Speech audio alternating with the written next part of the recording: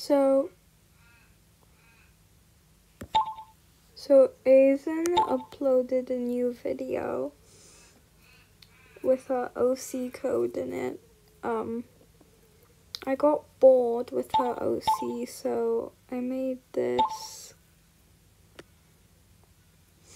I have no idea why I made this. This is not a hate video on her at all. I love her videos and I support her with fully support. This is not a hate video. I just got bored and made this. I have no idea why I did this. Great OC, by the way, Zenny. Well, Azen. Eh.